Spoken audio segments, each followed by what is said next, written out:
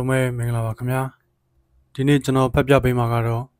စာရေးဆရာပါပီယွန်ရေးသားတဲ့ဂုတ်ပိုင် Bloody Mary ဆိုတဲ့ဝတ္ထုရဲ့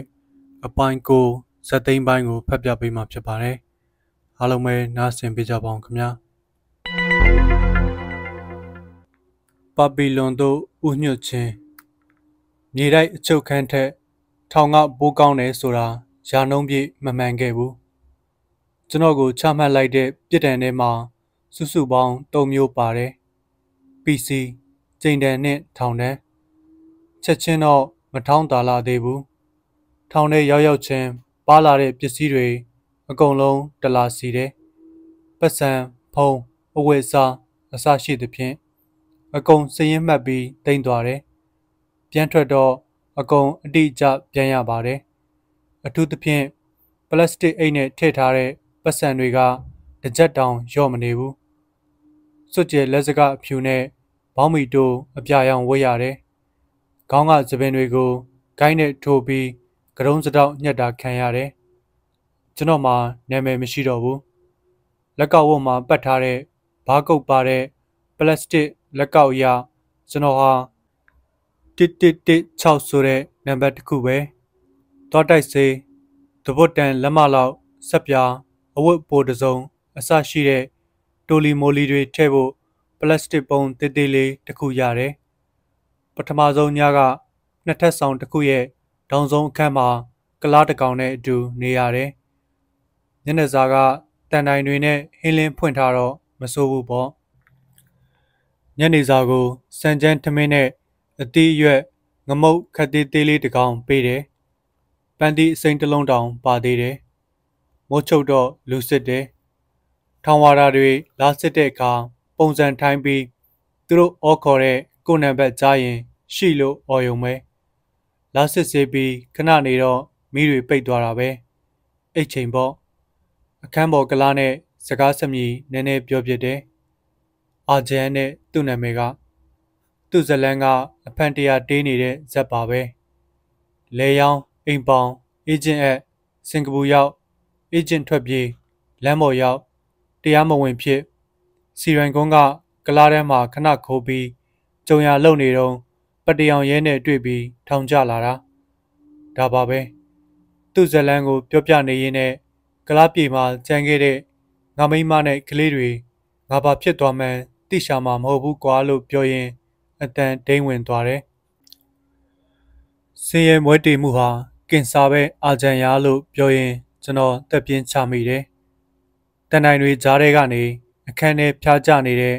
လာရောင်ကို အတိတ်ပဲမဲ့ငေးကြည့်တယ်။လာရောင်အောက်ကတောင်ကုန်းလေးပေါ်သွားတဲ့ပြီး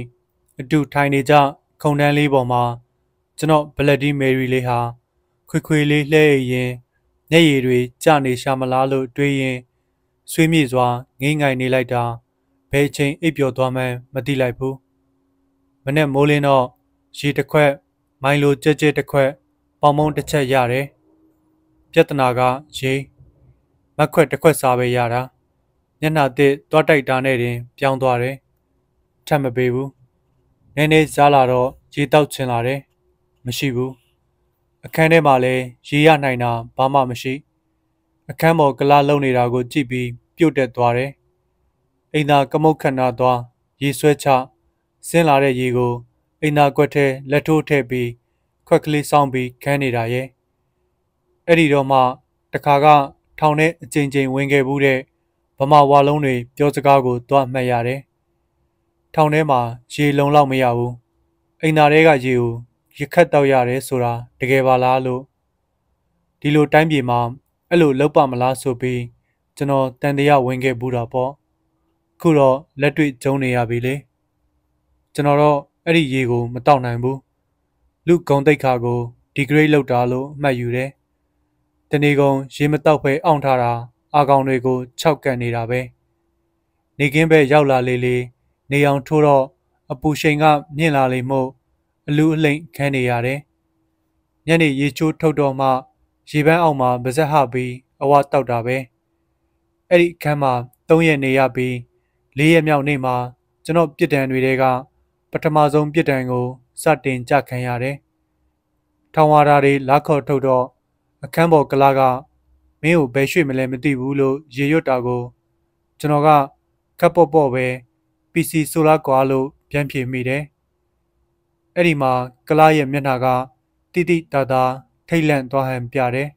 ။ဘလောက်တဲ့လဲလို့စိတ်မကောင်းဟန်နဲ့ဆက်မိတယ်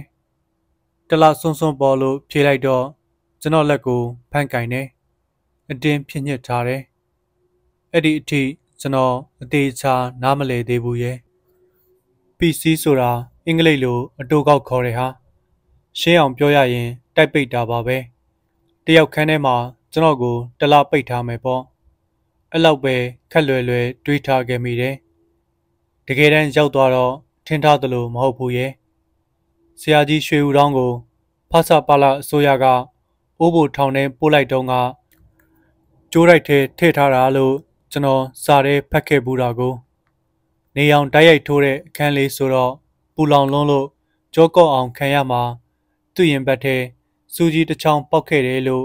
ရေးခဲ့ဘူးတယ်မဟုတ်လားကျွန်တော်အခန်းလေးဟာလည်းပူလွန်းတယ်အဆိုးဝါးဆုံးကအလုံပိတ်ခန်းဖြစ်နေတာပဲ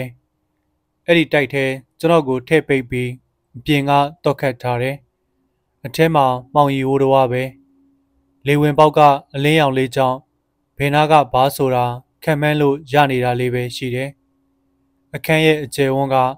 အလေတဲ့တဲ့မှာစောင်းကြောင်ထိုင်းပြီးငှက်တောင်ပန်ဖြန့်သလိုလက်နှစ်ဖက်ဆန်တန်းလိုက်ရင်ဘေးနံရံနှစ်ဖက်ကိုတိုက်နေတယ်။အရှိကလူတရက်စာလှည့်အိတ်လိုက်ရင်ဆန့်ယုံပဲ။တောင်ဆုံးမှာအိမ်သာခွက်တစ်ခုရှိတယ်။အဲ့ဒါပါပဲ။အခန်းထဲကိုအထက်ခံလိုက်ရတဲ့အခါကျွန်တော်ရုတ်တရက်ပြာရခတ်သွားတယ်။ အမောင်ကန်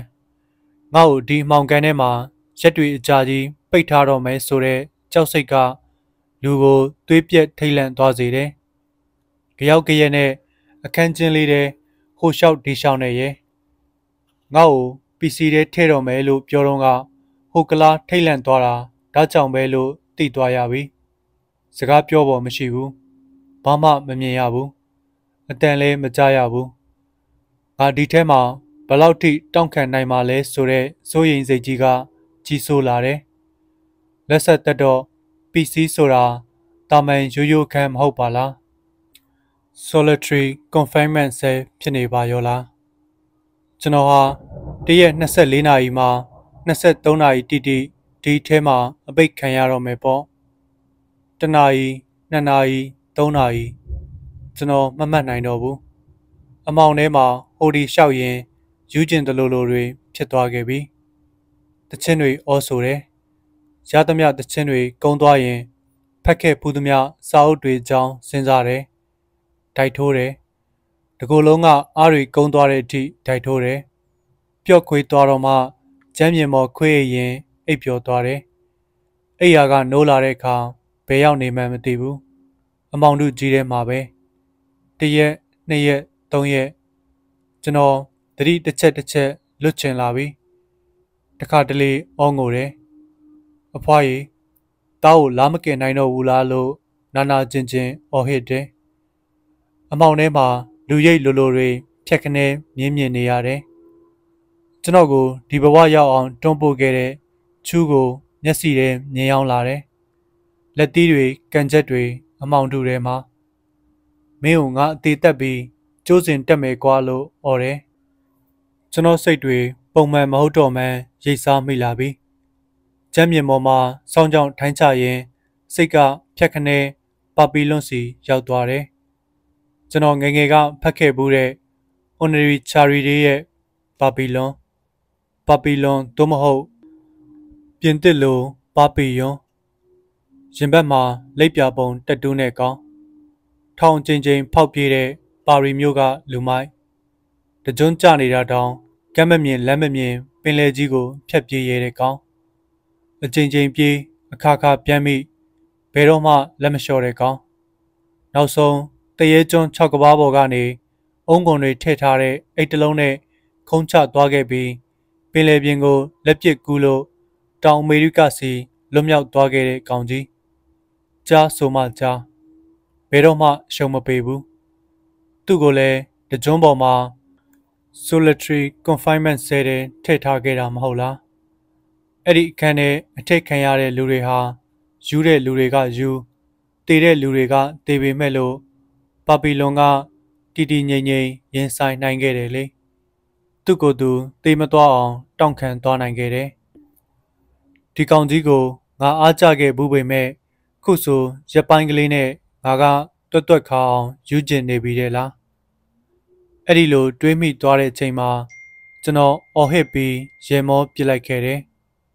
ကျွန်တော်မကြောက်တော့ဘူးရဲ့ဒီမှောင်ကန်းထဲမှာရက်နှဲငယ်ဖြတ်တန်းပြီးရင်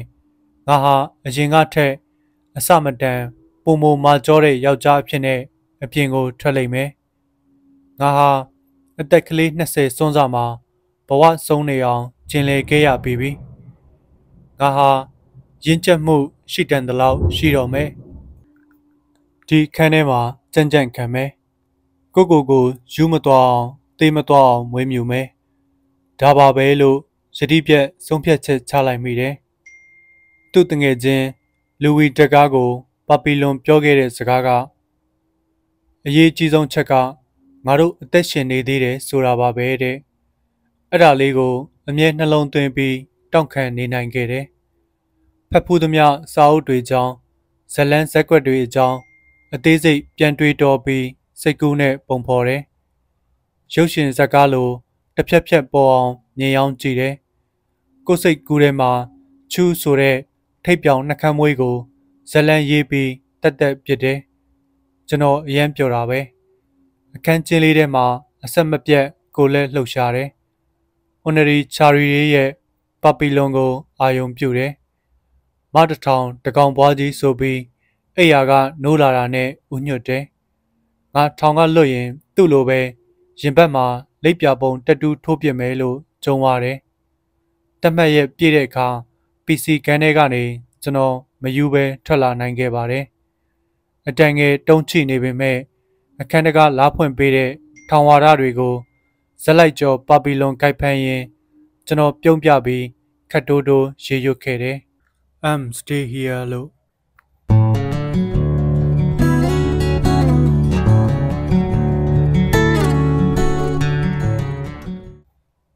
တင်ယူခြင်း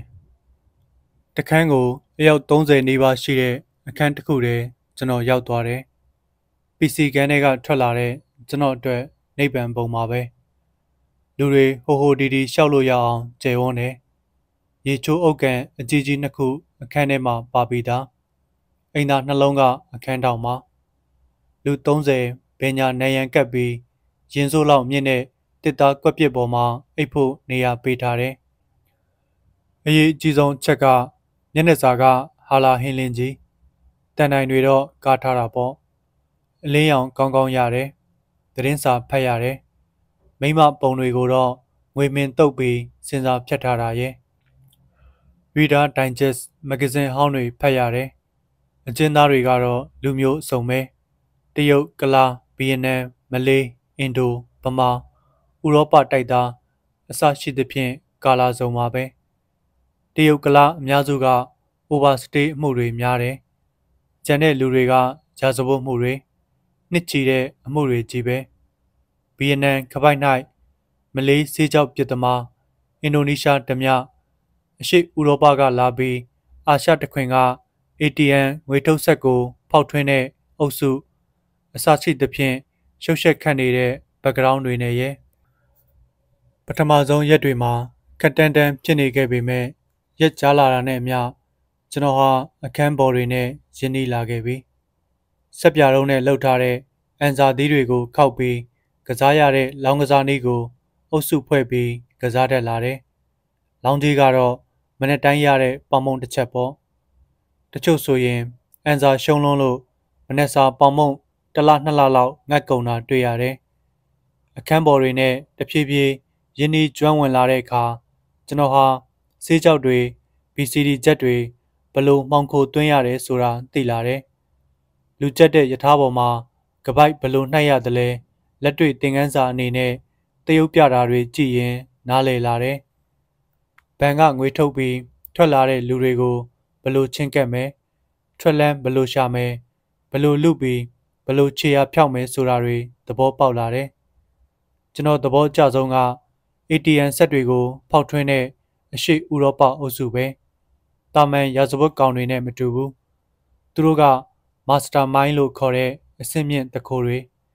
ATM ဆက်ထဲမှာတုံးတဲ့ electronic ပစ္စည်းတွေကိုလေ့လာငွေထုတ်ဆက်တဲ့အုံနှောက်အဖြစ်နဲ့တုံးထားတဲ့ chips ကိုလွှမ်းမိုးနိုင်တဲ့ပစ္စည်းအသေးလေးတီထွင် အကြိမ်ကြိမ်စမ်းသက်လို့အောင်မြင်ပြီးဆိုတော့မှ လူအုပ်စုဖွဲ့ပြီးတကဘာလုံးပတ် ATM ဆက်တွေတဲ့သူတို့ပစ္စည်းကိုထိုးထည့်ပြီး ငွေတွေအကန့်အသတ်မဲ့ထုတ်ယူကြတာတဲ့တကယ်မိုက်တဲ့မောင်တွေပါလားလို့အထင်ကြီးမိတယ်အခန်းထဲကလူမျိုးစုံနဲ့အစဉ်ပြေပြေပြောဆိုဆက်ဆံနေတဲ့ဗမာချာတိတ်လေးကျွန်တော်ကိုပေါင်းရတင်းရအစဉ်ပြေတဲ့ကောင်လေးလို့ယူဆပုံရပြီးထောင်ကထွက်ရင်ငါတို့နဲ့အတူတူအလုပ်လုပ်မလားလို့ခေါ်နေသေးတာရဲ့ဒီလိုနဲ့အဲ့ဒီအခန်းလေးထဲမှာကျွန်တော်ပျော်ပျော်ရွှင်ရွှင်ရှင်သန်နိုင်သွားခဲ့ပြီ ချိန်တန်ထိသွားတဲ့ရက်ကရေချိုးရင်အနာရင်းမှဆိုလို့ရေနှစ်ရက်မချိုးတာကလွဲပြီးနေတိုင်းရေဝဝချိုးတယ်တရက်တနာရီအပြင်ထွက်ရတဲ့အခါချင်းခတ်တယ်ဘောလုံးကန်တယ်အခန်းထဲမှာတိုင်းမှန်မှန်ထိုးတယ်ထောင်စာကြည့်လိုက်ကအင်္ဂလိပ်လိုရေးထားတဲ့ဝတ္ထုမဂ္ဂဇင်းမှန်သမျှအကုန်ငှဖတ်တယ်ခန္ဓာကိုယ်ကောစိတ်သက်ပါအစမတန်ကျမ်းမာတန်ဆွမ်းလာခဲ့ပြီညတိုင်းကြရင်က ဘာတဝန်းကလာတဲ့ရာဇဝတ်ကောင်တွေဝိုင်းဖွဲ့ထိုင်ရင်သူတို့ကြုံခဲ့ရတဲ့တုံလှုပ်ဖွဲ့ရာလော်ကီထုတ်ပတ်လူလူဇက်တွေတယောက်တစ်လှည့်ပြောကြတာကိုအန်အော်ဒဂျီနားထောင်တယ်ဒီလိုနားထောင်လာတာညပေါင်းများစွာကြားလာပြီးနောက်မှာအွန်နရီချာရီစာအုပ်ထဲကပါပီလွန်ကိုကျွန်တော်နားလည်သွားခဲ့တယ်တကယ်တော့ပါပီလွန်ဆိုတဲ့ရာဇဝတ်ကောင်ဟာတယောက်တည်းဟုတ်ချင်မှဟုတ်လိမ့်မယ်လို့ နားလည်စားပြုလာတယ်။အွန်နရီချာရီရေးဟာတရေကျွန်းပေါ်အကျဉ်းချဘူးရင်ဘေဘီဝဲယာကရာဇဝတ်ကောင်တွေစီကကြားဘူးခဲ့တဲ့ဇလန်းတွေကိုစုပေါင်းပြီးသူ့ဇက်ကောင်ကိုဖန်တီးခဲ့တာပဲဆိုတာမြင်သွားခဲ့တယ်။ဒါပေမဲ့တကယ်ဟုတ်ချင်းမဟုတ်ချင်းကလည်းအရေးမကြီးတော့ပါဘူး။အ ਨੇ ဆုံးတော့သူ့ဇက်ကောင်ကိုသဘောကျမိခဲ့တဲ့ကျွန်တော်ဟာအလုံးပိတ်ခန်းထဲမှာမယူသွားအောင်တောင့်ခံနိုင်ခဲ့တယ်မဟုတ်လား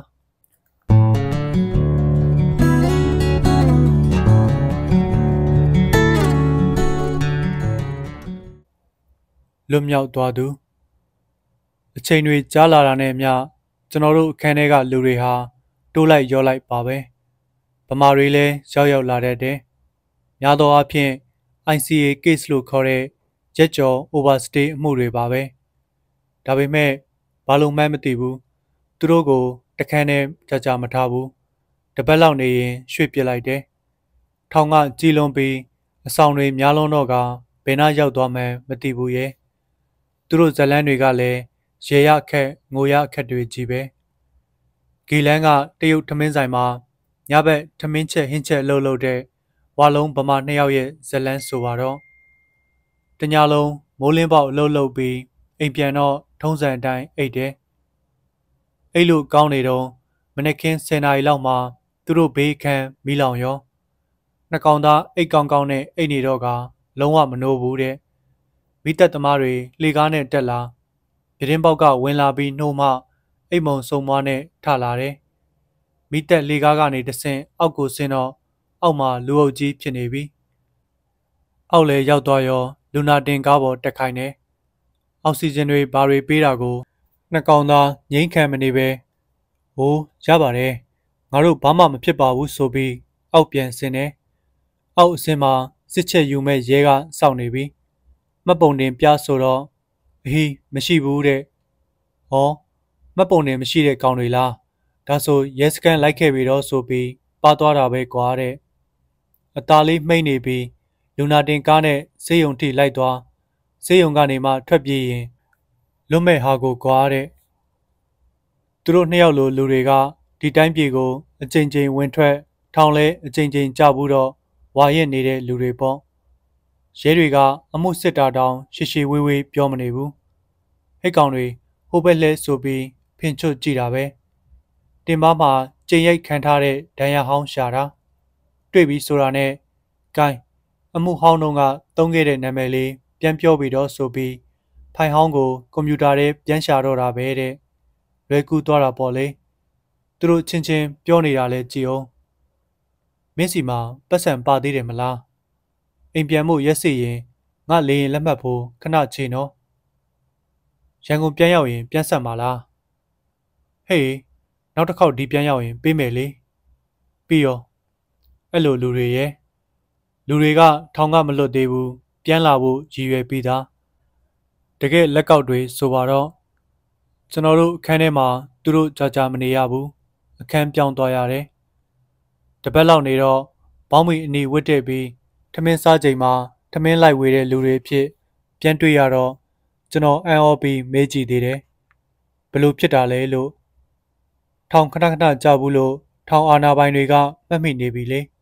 အလုတ်တန်းခံတာပဲနေ့ရွယ်ပတ်စံတောင်ရတယ်ဆိုလားဒီလိုနဲ့လအတန်ကြာကုံလွန်ခဲ့ပြီးနောက်တစ်နေ့မှာထောင်ဝါဒတယောက်ရောက်လာပြီး1116ငါနဲ့လိုက်ခဲလို့လာခေါ်ထုတ်တယ်ရုံးခန်းနဲ့ထိုင်ခိုင်းပြီး စာတစောင်းဖတ်ပြတယ်လူရင်းက special release စရင်နဲ့ကျွန်တော်ပါတဲ့အတွက်ထောင်ကလွှတ်ပေးလိုက်ပြီးခုချက်ချင်းပဲလဝကရုံးချုပ်ကအချုပ်ကိုပြောင်းမယ်ကျန်တဲ့ကိစ္စအဝဝသည်လဝကကဆက်လက်စီစဉ်မယ်တဲ့ဒါပါပဲအန်ဩစရာကောင်းတာကကျွန်တော်ထုပြီးမပျော်ရွှင်သွားဘူးရဲ့ဘဝမှာအရာရာရှုံးနေခဲ့ပြီးမှတော့စောစောထွက်ရတော့ကောဘာထူးအောင်မှလဲဆိုတဲ့စိတ်ကြီးနဲ့ ထုံပေပေကြီးဖြစ်နေတယ်အခန်းထဲပြန်ရောက်လာပြီးရေမိုးချိုတယ်ထောင်ကိုပြန်ရရမယ့်ပစ္စည်းတွေကိုပလတ်စတစ်ပုံလေးတွေထည့်တယ်ကျွန်တော်မိတ်ဆွေတွေကိုနှုတ်ဆက်တယ်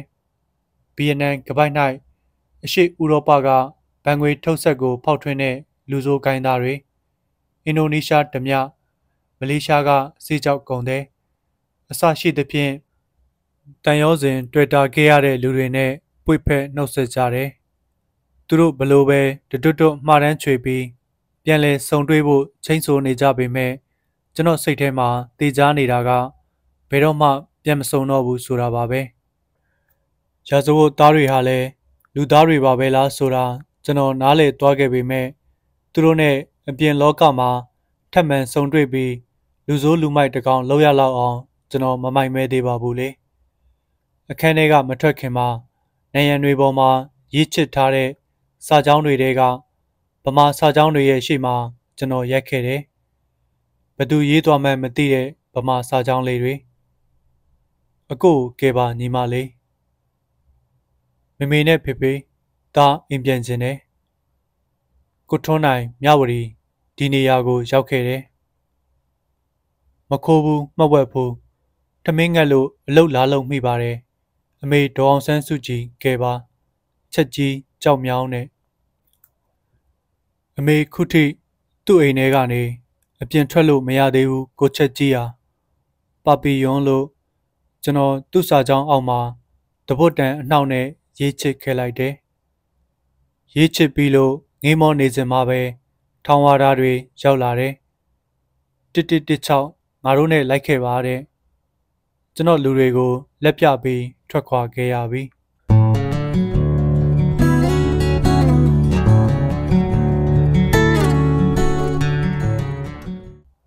အိမ်အပြန်လာဘန်ဒါဘူတာနာကလာဘကရုံးချုပ်မှာရှိတဲ့မြေတိုက်ခန်းဟာနောက်တစ်ကြိမ်ပြန်ရောက်မှာငရေကြီးရှစ်ထက်ပဲအရင်တစ်ခါကနေခဲ့ဘူးပြီးသားပေမဲ့လင်းလင်းချင်းချင်းကြကြဲလွန့်လွန့်ရှိလာတဲ့ထောင်ကနေမောင်ကြောင်ကြောင်မိသည့်အဝါရောင်တွေထွန်းထားတဲ့မြေတိုက်ခန်းတွေကအချုပ်ခန်းတွေကိုပြန်ရောက်လာတဲ့အခါစိတ်သက်ကြဆင်းစရာအင်မတန်ကောင်းလွန်လာတယ်။ဆိုထိုင်ပြီး အေးဆက်မှောင်မဲနေတဲ့အချုပ်ခန်းတွေဟာလောကငရဲပါပဲ။ငါကအလုံးပိတ်အမှောင်ကန်းတွေကတောင်မယူပဲပြန်ထွက်လာခဲ့တဲ့ကောင်ပါကွာလို့ကိုကိုကိုပြန်အားပေးနေရပြန်တယ်။ကျွန်တော်မှာတခြားသူတွေထက်တာတာက passport အမှန်ကန်လက်ထဲရှိနေတာရဲ့ရှာဖွေပုံစံနဲ့တင်သွားတဲ့ကိုပန်ပတ်စံဒေါ်လာထောင်ကနန်းထောင်ကပြန်ပေးလိုက်တော့လေရင်လက်မှတ်တန်းဝယ်ဖို့ရတာရဲ့ကြောင့်ကြာကြာနေစရာမလိုဘူး လေရင်လက်မှတ်ဖြတ်လို့ရတာနဲ့ပြန်လို့ရပြီဒီမြေတိုက်အချုပ်ကန်းတွေထဲမှာသွေးဆုပ်ဖုတ်ကောင်တွေလိုဖြူဖြော့ပြီးမျောလင်းချက်မဲ့နေတဲ့ကောင်တွေအများကြီးပဲပြစ်ဒဏ်ကြခံပြီးပေမဲ့လက်ထဲမှာ passport မရှိလို့အိမ်ပြန်ပို့လို့မရသေးဘူးသက်ဆိုင်ရာတန်ယုံတွေကလိုက်လာပြီးယာယီပတ်စပို့မလုပ်ပေးမချင်းအဲ့ဒီထဲမှာငရဲကြပြီးရောပဲအဲ့ဒီပတ်စပို့ရပါပြီတဲ့လေရင်လက်မှတ်ဝယ်ရမယ် တပြားမှမရှိတဲ့ကောင်တွေဘယ်လိုလုပ်ကြမလဲအပြင်မှာအဆက်တွေကျန်းနေခဲ့သေးတဲ့ကောင်တွေဖုံးဆက်ခွင့်ပေးထားတဲ့အတွက်လေရင်လက်မှတ်လာဝယ်ပေးဖို့အကူအညီတောင်းရင်ရနိုင်ပေမဲ့အများစုကြီးကဘာအဆက်တွေမှမရှိကြဘူးသူတို့ဘဝဘာဆက်ဖြစ်မယ်ဆိုတာလည်းမရေရဘူးမြေတိုက်ခန်းထဲမှာနောက်ထပ်လာပေါင်းများစွာဒီတိုင်းပြစ်ထားတာပါပဲဘလောက်သွေးပြက်စရာကောင်းလွန်းတဲ့ဘဝတွေလဲ နေမန်းညာမန်းမသိရတဲ့အချုပ်ခန်းတွေကမီးလုံးဝါဝါအောက်မှာခွေလဲပြီးနေရန်တွေကိုပဲစိုက်ကြည့်နေကြရတယ်ကျွန်တော်လိုပတ်စပို့ကောပတ်စံမှာလက်ထက်အသင့်ရှိနေတဲ့ကောင်တောင်အဲ့ဒီငရဲကြီးရှစ်ထက်ထဲ၃ရက်နဲ့၃ညတိတိအောင်အီနေခဲ့ရတာပေါ့ရောက်ရောက်ချင်းကျွန်တော်အမှုကိုကင်တဲ့အရာရှိတန်းပြီးရောက်လာတယ်လူဘဝရဲ့ကံတရားဆိုတာထင်သလောက်မဆိုးသေးပါဘူးခြတိတ်တဲ့ ပြုံးပြီးအဲ့လိုပြောတယ်သူဘာကိုဆိုလိုခြင်းမှန်းကျွန်တော်မသိပါဘူးထောင်ထဲအပြစ်မခံရတာကို ပြောတာထင်တာပဲအိမ်ပြန်ပြီးဘဝအစ်တစ်ခုတိဆောက်ချေကွာမင်းကတစ်ချိန်ကြရင် လူလူတူတူဖြစ်မဲ့ကောင်းမယ်ငါတေချာပြောရပါတယ်ငါညီရတဲ့ကျွန်တော်ကနာနာချင်းချင်းပဲပြုံးပြနေမိတယ်ကျွန်တော်ကိုလေလက်မှတ်ချက်ချင်းဝယ်ပေးပါလို့ပြောတော့ချက်ချင်းရစေရမယ်လို့ကတိပေးတယ် တညအိတ်တယ်စိတ်မရှိတော့ဘူးမနေ့အောင်ရီတီးခံနေရတယ်ဝါကျင့်ကျင့်မီးအောင်အောက်ကညံရံဖြူဖြူတွေကလွဲပြီးဘာမှကြည့်စရာမရှိဘူးကျွန်တော်စိတ်ထဲအန်တိုနီဂရေးရဲ့ဆိုင်ကုံဝတ္ထုတွေကဇက်ကွက်ကို ပြင်းမြင်မိသေးတယ်ဗီယက်နမ်စစ်ပွဲကာလမှာဖမ်းမိထားတဲ့ဗီယက်ကောင်ထိတ်တန့်ခေါင်းဆောင်တယောက်ကိုအမေရိကန် CIA ကအေးဆက်နေတဲ့ခန်းထဲမှာ နှစ်တွေချီအောင်ထည့်ထားတဲ့ဇက်ကွက်နေရန်တွေကိုလည်းဆေးဖြူတွေကြီးပဲတုတ်ထားတာဆိုလားခုလဲကျွန်တော်အခန်းကအေးဆက်နေတာပဲနေရန်တွေကအဖြူတွေမျက်နှာချက်ပေါ်ကမီးလုံးအယောင်ကဝါကျင်ကျင်ကြီးစိတ်အင်မတန်ညစ်ညူးတယ်ဗျာနေရန်ပေါ်မှာဗမာလိုရေးချစ်ထားတဲ့စိတ်တဲ့မကြတဲ့ညီကိုတို့ရှေ့မှာရန်ကုန်ပဲဆိုတဲ့စာကြောင်းကိုကြည့်ပြီးစိတ်ဖြေနေရတယ် ဒုတိယနေ့မှာအမှုစစ်အရာရှိကျွန်တော်ကိုလာတွေ့ပြီးပြောတယ်လေရင်လက်မှတ်ဖြတ်ပြီးပြီတပတ်ခါနေ့လေလေရင်နဲ့နှစ်ညအိပ်ပြီးရင်မင်းအိမ်ပြန်ရောက်ပြီးကွာတဲ့ကျွန်တော်စိတ်အတော်ပေါ့သွားပြီစိတ်လက်ပေါ်ပါစွာနဲ့အဲ့ဒီညမှာအိပ်ပျော်ဖို့စူးစမ်းနေတော့ရုတ်တရက်ငရဲပွက်တလိုတွေဖြစ်ကုန်တယ်ကျွန်တော်ဘေးခန်းကလူကျွန်တော်ရောက်ကြတဲ့ကငုတ်တုတ်ငူငူကြီးထိုင်းနေတာမလှုပ်ရှားပဲ ထမင်းလာကြွေလဲထမစားဘူးဒီမြေတိုက်ခန်းထဲရောက်နေတာဘလောက်ကြာပြီလဲမသိဘူးရဲ့ဇက်ကြီးကျိုးလို့အဲ့ဒီလူကရုတ်တရက်ဆက်ကနေထားတယ်တန်တိုင်းတွေကိုခေါင်းနဲ့ပြေးပြေးဆောင်တယ်ပါဇက်ကအာကောင်ချစ်ပြီးអော်တယ် I want to go home I want to go home တန်တိုင်းကိုခေါင်းနဲ့ပြေးပြေးဆောင်တဲ့အချိန်ဟာပြင်းထန်လွန်းတော့ ကျွန်တော်အခန်းဘက်ကတန်တိုင်းတွေပါတုံခါနေတယ်တွေးလန့်နေတဲ့ကျွန်တော်အသေးချာကြည့်လိုက်မှမှတ်မိသွားတယ်ဖះဖះကျွန်တော်ထောင်ထဲရောက်တဲ့ပထမဆုံးရက်တွေမှာအတူတူနေခဲ့ရဘူးတဲ့ကလားပါလားတွေးလူလူဖြစ်နေတဲ့သူ့မျက်နှာဟာမီးအောင်ဝါဝါအောက်မှာနာကြည့်မှုတွေအပြည့်နဲ့တန်တိုင်းတွေကိုခေါင်းနဲ့ဆောင်းရင်တေးပစ်လိုက်တော့မယ်လို့ဆုံးဖြတ်လိုက်ပြီးနေမယ်ကျွန်တော်អော်တယ် အာကျန်အာကျန်တကယ်ချင်းအဲ့လိုမလုပ်ပါနဲ့ကွာဟဲ့ကောင်မင်းသေးသွားလိမ့်မယ်မလုပ်ပါနဲ့ကွာသူ့ကိုအော်ဟစ်တားမြစ်ရင်ကျွန်တော်ပါးပြင်ပေါ်မှာမျက်ရည်စတွေရွှဲနစ်နေတာပဲကျွန်တော်ကကိုကိုကိုစောက်ကြောမာတယ်လို့ဘလောက်ဟန်လုံးနိုင်ခဲ့ပေမဲ့အသေးနုတဲ့ခြာတိတ်ကလေးပါပဲလေလာဝကအရာရှိတွေရောက်လာပြီးအခန်းထဲတော့ဖွင့်ဝင် အတင်းချုပ်ထားတော့မှ ယူသွလူနီးပါးဖြစ်နေတဲ့အာချန်ဟာငြိမ်သက်သွားခဲ့တယ်တအီအီနဲ့ရှိုင်ငုံနေတယ်ဥကောင်းတစ်ခုလုံးသွေးတွေချင်းချင်းနေလို့ရှက်အင်းကြီးတစ်ခုလုံးလဲသွေးတွေရွှဲနစ်နေပြီအာချန်အာချန်ငါလေးတငယ်ချင်း1116လေးဗမာကောင်လေးလေကွာမင်းစိတ်ကိုထိန်ထားနော်မပူနဲ့မင်းအိမ်ပြန်ရလိမ့်မယ်သိလားအော်ဖစ်ဆာတို့ အရာရှိမင်းတို့ဒီကောင်လေရင်လက်မှတ်ဖို့မရှိလို့မဟုတ်လားရှာဖွေပုံစံနဲ့တင်ထားတဲ့အထက်မှာကျွန်တော်ပတ်စံတွေထောင်ချီပြီးရှိပါတယ်ဗျာသူ့လေရင်လက်မှတ်ဖို့ကျွန်တော်ပေးပါမယ်ဝဲပေးလိုက်ပါဗျာတနာပါတယ်ဝဲပေးလိုက်ပါကျွန်တော်ဒီဘက်ခန်းကနေအဲ့လိုတွေတတွတ်တွတ်အော်ပြောနေမိတယ်ဒေါ်လာ4-500နဲ့ကျွန်တော်မွဲမသွားပါဘူးလူတစ်ယောက်ယူသွတ်သေးဆုံးသွားမှာကို ထိုင်းကြည့်နေရမှာလေလားဗျာအာဂျန်ဟာဒီမြေတိုက်ထဲမှာလာပေါင်းများစွာကြာအောင်ညှော်လင်းချက်မဲ့နေခဲ့ရှာတယ်တဲ့လား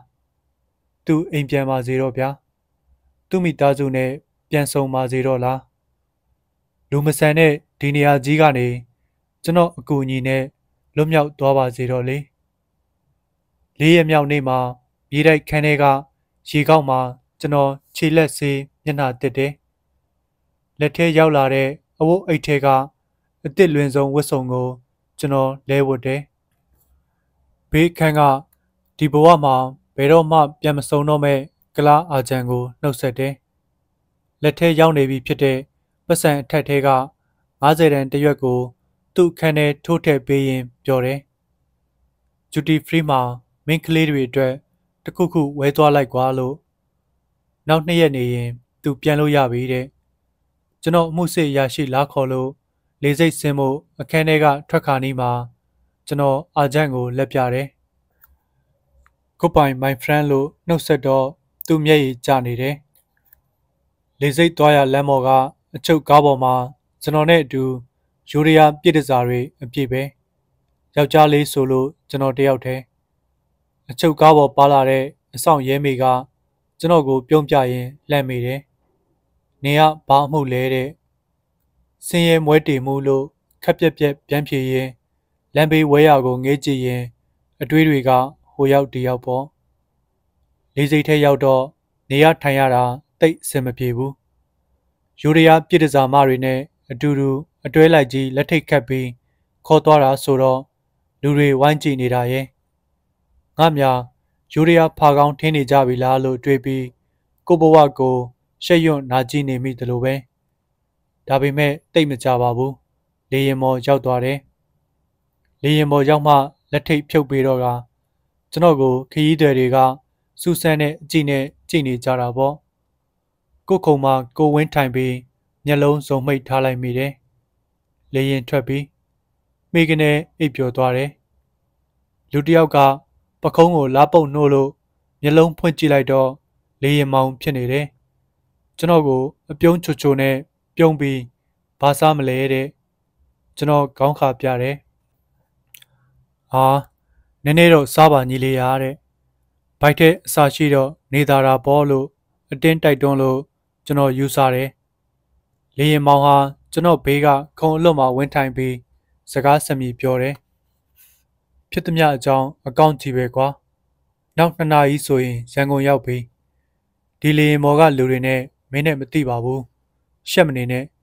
ဒီမျက်လုံးတွေအောက်ကခဏနေရင်လွတ်တော့မှာအာတင်ထားလို့အားပေးတယ်သူ့ရဲ့ကျင်နာရတဲ့နှလုံးသားကိုကျွန်တော်မှတ်တမ်းတင်မိခဲ့ပါတယ်မင်္ဂလာတုံလေးစိတ်ကိုလေရင်စိုက်တယ်ဘာမှအခက်အခဲမရှိဘဲ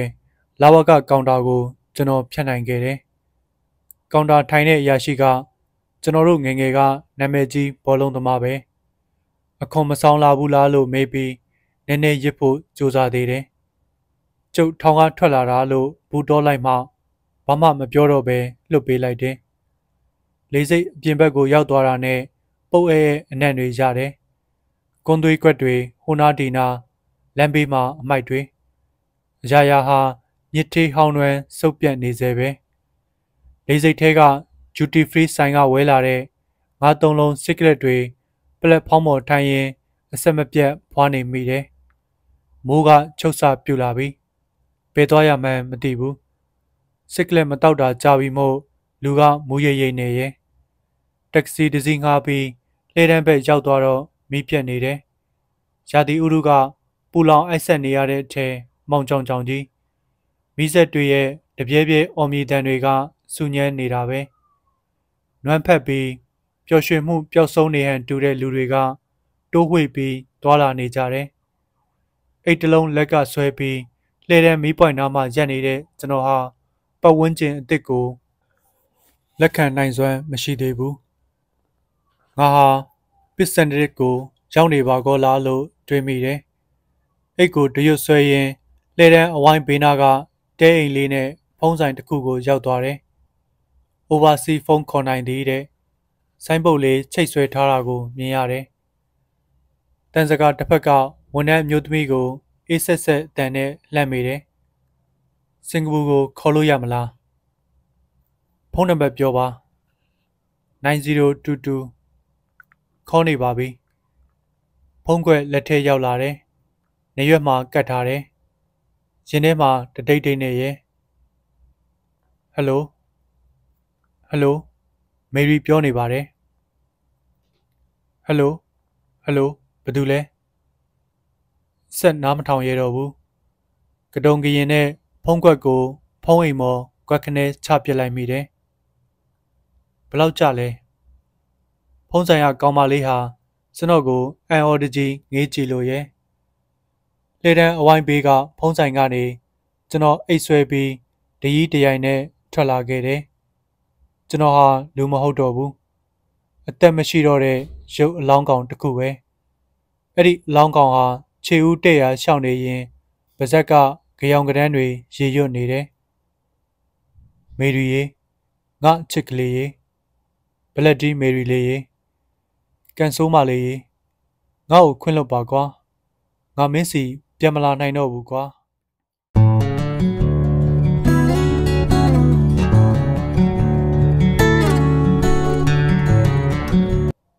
နော်စတေဂျာ လန်ဒန်အိုလံပစ်ပွဲတော်ကာလာကြီးပေါ့ဟီသရိုလေစိတ်မှာလူတွေပြည့်ကျက်နေတာပဲတကဘာလုံးကလူတွေဟာအင်္ဂလန်ကိုပဲဥတီပီလာနေကြသလားမှတ်ရတယ်အင်္ဂလန်တနေရာထဲတင်မကပါဘူး UK လို့ခေါ်တဲ့ United Kingdom နယ်နိမိတ်ထဲပါတဲ့နေရာတွေကိုဥဒဟိုသွာလာနေကြတယ်အိုလံပစ်ဘောလုံးပွဲတွေကမြို့ကြီးတွေမှာပတ်ချလဲကျင်းပတာမဟုတ်လား အသားအရည်အယောင်သွေးစုံလင်လွန်းတဲ့လူအုပ်ကြီးကိုကြည့်ပြီးကျွန်တော်တောင်ရွှေမျိုးတလူလိုဖြစ်လာတယ်။ကြားနေရတဲ့ဘာသာစကားတွေကလည်းအမျိုးမျိုးပဲ။ကျွန်တော်ကခရီးထွက်ရင်ပြန်ရောက်လာတာရဲ့။လန်ဒန်ကခရီးဆုံးမဟုတ်သေးဘူး။အင်္ဂလန်အရှေ့မြောက်ဘက်ကမြို့ကြီးတစ်မြို့စီကိုလေရင်နောက်တစ်ဆင့်ဆက်စီရအောင်ပါ။လူကပင်ပန်းနွမ်းနေလွန်လှပြီ။နောက်ထပ်တနာရီလောက်လေရင်စီးပြီးရင် လေစိတ်ကနေမက်ထရိုလို့ခေါ်တဲ့မြို့တွင်းပြေးတဲ့ရထားကိုမိနစ်40လောက်ထပ်စီးပြီးမှအိမ်ပြန်ရောက်မှာမြန်မြန်အိမ်ရောက်ပြီးနားကျင်လှပြီနေအောင်ကြီးတောက်ပလွန်းတဲ့နွေရာသီကြီးမှာလူတွေပြည့်ရှမ်းနေတဲ့ဒီလေးစိတ်ကြီးဟာဝန်းကျက်လွန်နေတယ်ဇင်ရောငှက်အော်မီတန်တွေစူညမ်းနေပြီးလေနုအေးလေးတွေတိုက်နေပေမဲ့ပင်လေကန်းဆက်ကကျွန်တော်မြို့စီရောက်တာနဲ့အိမ်ကိုတန်းပြန်မယ် ရေမိုးချိုမယ်ပေါ့ပေါ့ပါပါအဝတ်စားလေးတွေဝတ်ပြီးအိမ်နာကအနောက်ခွတ်တောင်းလမ်းတောင်းကအရက်ဘားမှာတစ်ခွက်တစ်ဖလားတွားချရအောင်ပါပါလို့တွေးနေမိတယ်ဗြိတိရှအဲဝေးလေရင်ခီးစဉ်မှတ် BA 1334ဖြင့်လိုက်ပါမိခီးသည်များဟောခေါ်ပြီးပြားဆိုပြီးကြောဘိုးအိတ်ကိုစက္ကနဲဆွဲယူပြီးကြောမှာပိုးရင်ထားတယ် ဘာရင်မဟုတ်ကျွန်တော်ရှေ့တက်တဲ့မှန်ချက်ကြီးကိုမရည်ရွယ်ပဲလှမ်းကြည့်မိသွားတယ်။အရှိတိုင်းသူမိမတယောက်ရဲ့ကျွန်တော်ကိုမှန်ချက်ကြီးရဲ့တစ်ဖက်ကနေစူးစိုက်ပြီးကြည့်နေတာဗျာ။သူ့မျက်နှာကအံ့ဩတုန်လှုပ်နေတဲ့ပုံပဲ။ကလေးတယောက်ကိုပွေ့ချီထားပြီးနောက်ကလေးတယောက်ကိုလက်ကဆွဲထားတယ်။ရင်ဘတ်ထဲမှာထိတ်ခနေပဲ။အိုး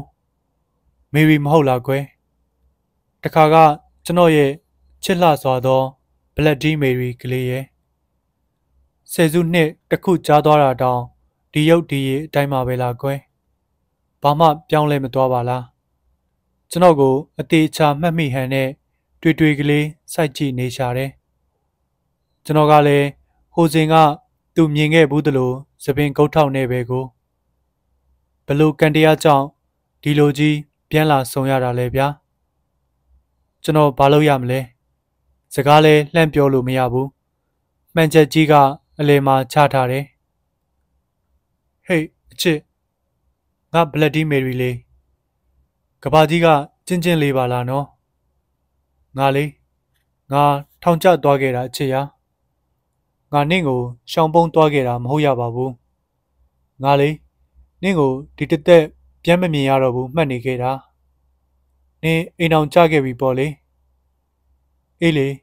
နှစ်တွေအများကြီးကြားသွားခဲ့ပြီကိုကလေးတွေကချောလိုက်တာဟာနင့်ရုပ်ကလေးတွေအတိုင်းပဲပြန်မလာနိုင်ခဲ့တဲ့ငါ့ကိုခွင့်လွတ်တယ်မဟုတ်လားယင်နောက်တဘဝဆိုတာတကယ်ရှိသေးမယ်ဆိုရင်ငါနေနဲ့ပြန်ဆုံပါရစေလို့ဆုတောင်းနေမယ်ဟာဒီမဲ့ဒီမဲ့ကြည်စမ်းငါဝတ်ထားတဲ့ ဂျင်းပန်လေးလေနေဝဲပေးထားတဲ့ဟာလေးဝတ်လို့ရနေသေးတယ်တွေ့လားခုထိရိုးရိုးသေးသေးတိမ့်ထားတာနော်ငါဘဝကဘာမှမပြောင်းသေးပါဘူးဟာခုထိကူလီထမ်းနေရတော့မယ်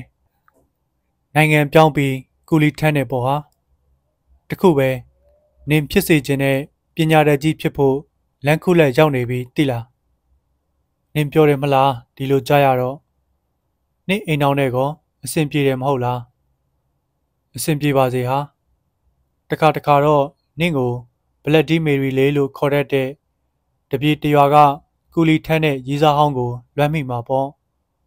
ဟုတ်တယ်မလားမညာပါနဲ့လွမ်းရင်လွမ်းနေပေါ့ဟေး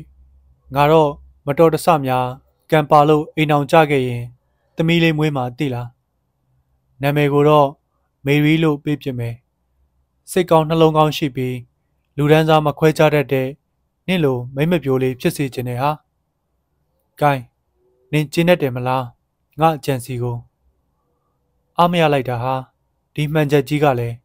ဘာကိစ္စချထားရတာတော့စိတ်ထဲကအဲ့လိုတွေအဆက်မပြတ်ပြောနေရင်မှန်ချက်ကြီးကိုထွန်းဖောက်ပြီးတခါကကျွန်တော်အချစ်ကလေးရဲ့ဆွေးရည်ရည်မျက်ဝန်းတွေကို ငေးကြည့်နေမိတယ်ဗြိတိရှအဲဝေးခရီးစဉ်အမှတ် BA 1334ဖြင့်လိုက်ပါမည့်ခရီးသည်များငါသွားပြီနော်အချစ်ငါသွားရပြန်ပြီဘလက်ဒီမေရီလေးဟာဘဝမှာမတော်တဆပြန်ဆောင်ခဲ့တာတောင်စကားလေးတခွန်းပြောခွင့်မရရှာတဲ့ငါတို့ကံကြမ္မာကိုပဲရိုးမယ်ဖွဲ့လိုက်ကြပါစို့ဟာ Goodbye my little bloody Mary ကျွန်တော်ဟာတခါကသူချစ်ခဲ့မှုတဲ့ဗမာရွှေပြောင်းကူလီလေးမှန်တေချာသွားအောင်တစ်ချက်ပြုံးပြလိုက်ရင်ခြာကနေလှည့်ထွက်ခဲ့တယ်။သူဘလို့ကြံရစ်ခဲ့ရှာတယ်လဲမသိတော့ပါဘူးလေ။လေရင်စီကိုအပြေးတစ်ပိုင်းသွားနေတဲ့ကျွန်တော်ရင်ဘတ်ထဲမှာဘယ်တော့မှမကြုံဘူးခဲ့တဲ့ဝမ်းနဲ့အားငယ်မှုကြီးဗျာ။တနာရီခွဲလောက်ကြားသွားတဲ့အခါကျွန်တော်ဟာအိုလံပစ်ပြည်သက်တွေ အပြည့်ပါလာတဲ့မက်ထရိုရထားပေါ်မှာခေါင်းငိုက်ဆိုင်ပြီးစီးနေနေတယ်။အော်ဟစ်ဆူညံပျော်ရွှင်နေတဲ့လူတွေကိုဥပစ်ကာပြုတ်ထားရင်ရထားလမ်းဘေးကအမိုးနီနီနဲ့အိမ်သေးသေးလေးတွေကောက်ရိုးတုံးအဝါရောင်တွေလေကွင်းတွေကိုအတိတ်ပဲမဲ့ငေးပေါ်နေမိတယ်။နောက်ပူတာဆိုတဲ့ကျင်ညာတန်ကြားတဲ့အခါဆက်ခနဲအတိဝင်လာတယ်။အိမ်မပြန်ချင်သေးဘူး။ဒီရွာကလေးမှာ ဆင်းနေရစ်မယ်ဆိုတဲ့ဆုံးဖြတ်ချက်နဲ့ဘူတာယုံတေးသေးလေးမှာဆင်းလိုက်တယ်။စီပန်လောင်ကျွမ်းတဲ့ပင်လဲတဲ့နာမည်ကိုကပင်လယ်ဘေးကအရက်ပါဆိုင်လေးစီရောက်တော့ဘာအပြင်ဘက်ကစပွဲတစ်ခုမှထိုင်နေပင်လယ်ကမ်းခြေကိုလှိုင်ကောင်းဖြူဖြူတွေလားပုတ်နေတဲ့မြင်ကွင်းကိုငေးတယ်လက်ဆက်တဲ့လေးတွေကတူတိုက်ခတ်နေတော့စိတ်ထောင်းကိုကြီးဖြစ်လာတဲ့ကျွန်တော် နည်းနည်းနေသာထိုင်သာရှိသွားတယ်။ Bushmeat တစ်စိတ် Irish Whiskey နှစ်ပတ်မှာပြီးဇက်တိုက်မော့ပြလိုက်တယ်။ကြောဘိုးအိတ်ထဲကဒန်ဟီစီကလက်ဘူးကို ထုတ်ပြီးဖွာတယ်။ Bushmeat နှစ်ပတ်ထပ်မှာပြီးဖြည်းဖြည်းချင်းတောက်တယ်။ Irish Whiskey လေးဘက်အချိန်နဲ့ကျွန်တော်နည်းနည်းပျော်ရွှင်စားပြူလာတယ်။ညနေဆောင်သွားပေမဲ့လူရသည်မို့နေအောင်ကမပြောက်သေးဘူး။လင်းကျင်နေတော့မယ်။ ရီဝေဝေအပြာရောင်ပင်လယ်ကြီးနဲ့ကြည်လင်းနေတဲ့ကောင်းကင်တွေကဖြူဆွတ်ဆွတ်တိမ်တွေကိုငေးတယ်။စစ်ကလက်ကိုမြင့်ပြီးဖွာတယ်တဖြည်းဖြည်းနဲ့အဲ့ဓာတွေဟာကျွန်တော်အတွက်ရုပ်ရှင်ပိတ်ကားကြီးဖြစ်လာတယ်ပင်လယ်ပြာနဲ့ကောင်းကင်ပြာရောင်ပေါ်မှာပုံရိပ်တွေတစ်ဖြက်ဖြက်ပြေးနေတယ်တရုတ်ဆောင်တွေအများကြီးပဲချူးနဲ့နီယိုကန်ထရိုက်တာမောင်နီငါးသမားကိုလှဝင်း တောင်စလက်ပန်းဆိုတဲ့အမကြီးဖိုးရှောင်တဲ့တရုတ်မလေးမာနယ်ပလော့စခန်းကတိုင်းရင်းသားရဲဘော်တွေနဲ့သူတို့တဲထားတဲ့ထုံးစီတွေလေအလောင်ဖျားမင်းမင်းမန်နီရိုလန်အလုံးကိုဖြူကိုစောကြီးအသေးလေးစီနိုကိုလူကဗမထွက်ရက်ကိုင်းကိုအာနိုဥပုံညချင်မီတန်အချုပ်ကားတွေကကိုအောင်သူရ ဗီယက်နမ်ကပိုက်၌မလေးရှားစေးကြောက်ကုန်တဲ့အင်ဒိုနီးရှားဓမြအရှိဥရောပက ATM ဆက်ဖောက်ထွင်းတဲ့ဂိုင်းကျင်နာရက်တဲ့လာဝကအရာရှိလေးတန်တိုင်တွေကိုခေါင်းနဲ့ပြေးဆောင်တဲ့ကလားအာချန်နောက်ဆုံးအမိုကရိုတောင်ကုန်းလေးပေါ်ကအပြစ်ကင်းစင်တဲ့ကောင်လေးနဲ့ကောင်မလေးနေလုံးနေနေဟာပင်လေတဲ့တပိုင်းတစနစ်မြုပ်သွားခဲ့ပြီ ရုပ်ရှင်ဇက်ကားကြီးလည်းဇက်သိမ်းသွားပြီစပင်ရှိရှိနဲ့လူတစ်ယောက်ဟာပင်လေပြင်းကြီးရဲ့အစွန်းတစ်ဖက်ကမိုးကုတ်ဆက်ဝိုင်းကိုဆွေးရည်ရည်ငေးကြည့်ရင်သူ့ပါးပြင်ပေါ်ကမျက်ရည်တွေကိုလက်ဖမိုးနဲ့ပုတ်တက်နေခဲ့တယ်